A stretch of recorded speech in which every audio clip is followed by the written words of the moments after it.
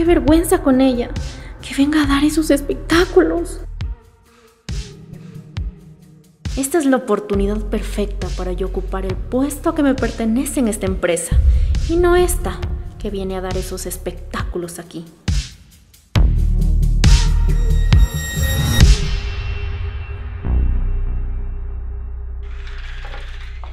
Jefecito, ¿está ocupado? No, acabo de terminar con una reunión. ¿Qué necesitas? Eh, quería comentarle algo. ¿Puedo pasar?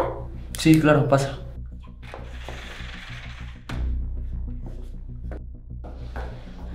Jefecito, quería informarle algo. ¿De qué? ¿Qué pasó? Bueno, jefecito, yo no quería dar malos chismes ni nada de eso. Es mi mejor amiga y me duele muchísimo todo eso, pero es que es más el amor que yo le tengo a la empresa y no dejaría pasar por alto todo lo que está pasando. Quería mostrarle esto.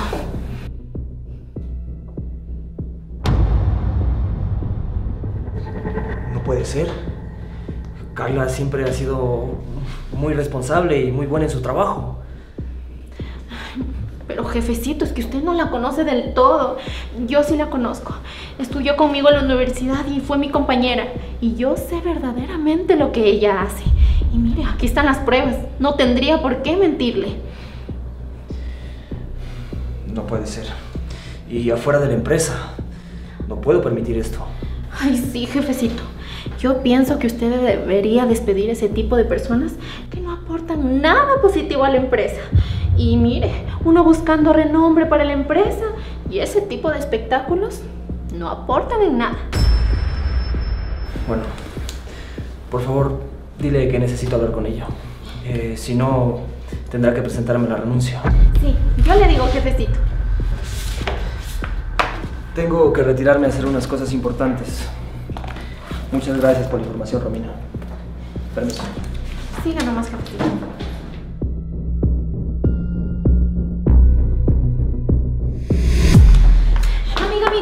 Ni sabes lo que pasó, ñañita. ¿Qué? ¿Qué pasó? Dime. Lo que pasa es que le llegaron unos chismes de ti al jefe y creo que te despidió. Y quiere que le presentes tu carta de renuncia. ¿Pero por qué? Si yo no he hecho nada malo. No sé, solo le llegaron unos chismes de ti que dices que estabas haciendo un espectáculo en la entrada de la empresa y ni siquiera quiere hablar contigo. Solo quiere que renuncies y ya. No, no. Yo tengo que hablar con él. No, no, no. Él no está. Él salió, pero si quieres tú me puedes dejar tu carta de renuncia y yo le entrego. Y cuando él llegue, yo te llamo para que tú puedas hablar con él. ¿Estás segura? Mira, yo necesito mucho este trabajo. Tú sabes, con mi mamá en el hospital, mi niña en la escuela, los útiles. Ay, sí, amiga, lo siento mucho. Mira, yo como buena amiga traté de defenderte, pero no me hizo caso. Le dije que yo te conocía y sé lo buena persona que eres, pero no me quiso escuchar. No hay de otra.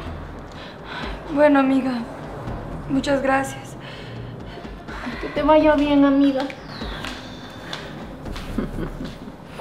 Esta es mi oportunidad perfecta. Horas más tarde.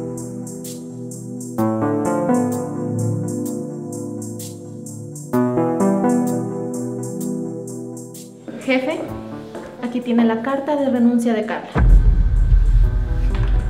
¿Cómo? ¿La carta de renuncia?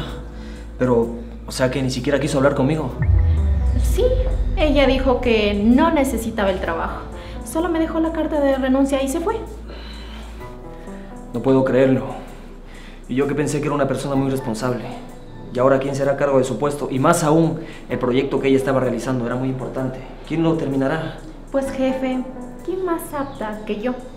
Como le comentaba, nosotras éramos compañeras de la universidad y yo tenía las mejores notas porque ella siempre se encargaba de estar conquistando hombres. En cambio yo era muy responsable y fui la mejor egresada de la universidad. ¿De verdad? El proyecto que ella estaba realizando es muy importante. Así jefe, ella era mi mejor amiga y por eso yo nunca dije nada. Pero quería confesarle algo, la que realmente hacía el trabajo era yo. Sí, jefe. Yo me quedaba hasta tarde aquí en la oficina haciendo los trabajos de ella, para que estén listos al otro día. Y ella se arreglaba para ir de fiesta.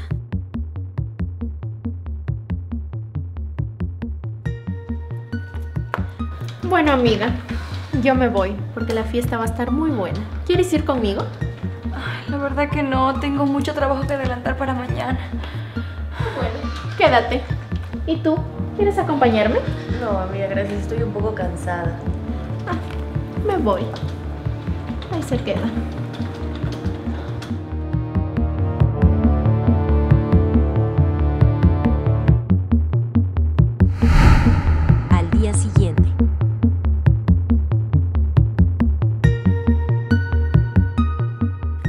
A hacer su trabajo mientras ella se pintaba las uñas.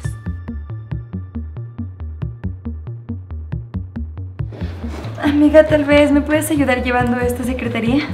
Ay, no, amiga. ¿No ves que me estoy haciendo las uñas? Se me pueden arruinar. Hazlo tú mismo. Ay, por favor, eh, es que mira, me falta aún mucho de revisar del plano. Que no. Bueno, está bien, tranquila, siguen tus uñas.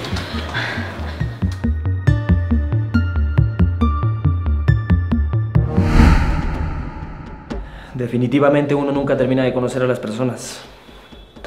Bueno, confío en su palabra, Romina. Y desde ahora en adelante usted se hará cargo del proyecto que dejó Carla. Muchas gracias, jefe. Le prometo que no le fallaré. Recuerde que ese proyecto es muy importante para la empresa. Claro que sí, jefe. Días después. ¿Y ahora? ¿Cómo hago todo esto? Nada.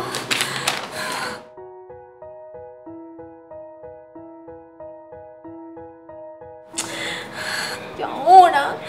¿Cómo entrego ese proyecto? No puede ser, no sé nada.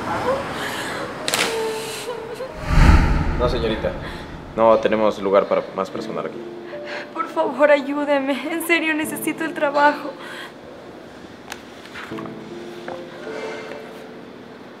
Pero, ¿por qué busca trabajo en un lugar como este si tiene tantos estudios?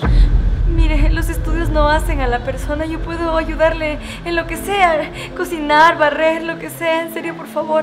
No, no, no, señorita. Tiene demasiados estudios como para este puesto. No. Por favor. No, no. Retírese, por favor.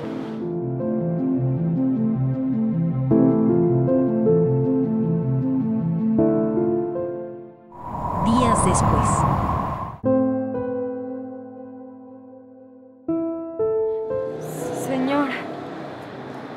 Carla.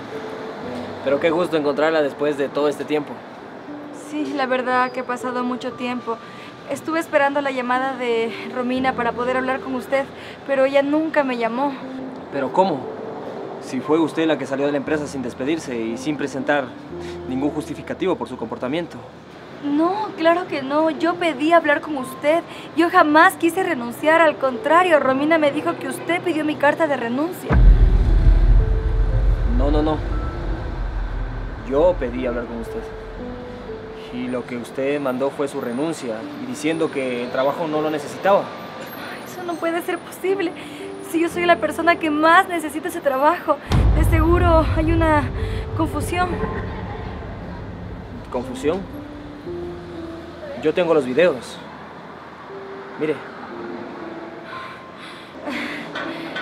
No, señor. Efectivamente, hay una confusión. Lo que realmente pasó es que...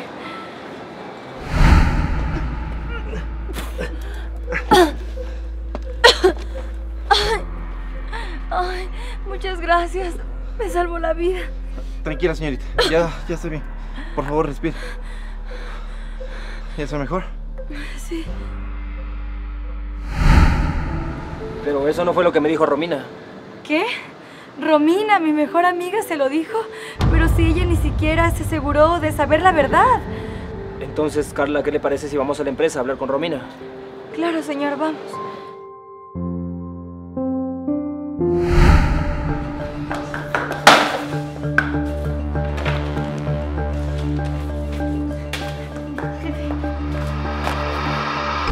Romina, dígame algo, ¿usted en realidad vio a Carla teniendo intimidad en el carro?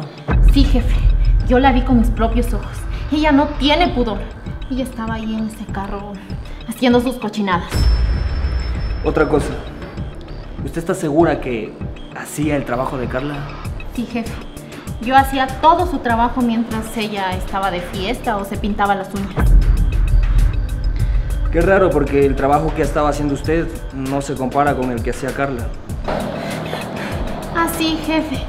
Lo que pasa es que estos días he estado muy estresada y no he podido pensar bien, pero le juro que mejoraré. Con que eras tú la que inventó todo esto. No, no, no, no, amiga. Ya deja de mentir. Que acabas de decir toda la verdad. No puedo creer que tan bajo has caído. Vuelvo y repito. Definitivamente nunca se termina de conocer a las personas. Y de ti tuve que haberme dado cuenta desde un inicio. Porque siempre has querido ser mejor que los demás. Y esta vez llegaste muy lejos, al inventar calumnias para quedarte con el puesto de Carla.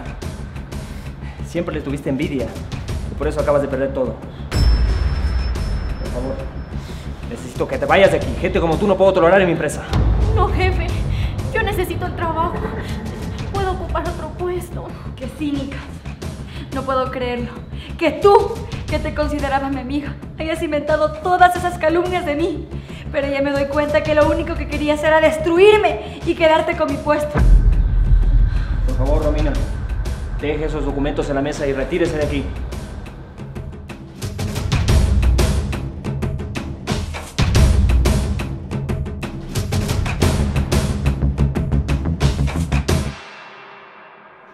Por favor, Carla, discúlpeme por haber desconfiado de usted y no haberme asegurado bien de la verdad.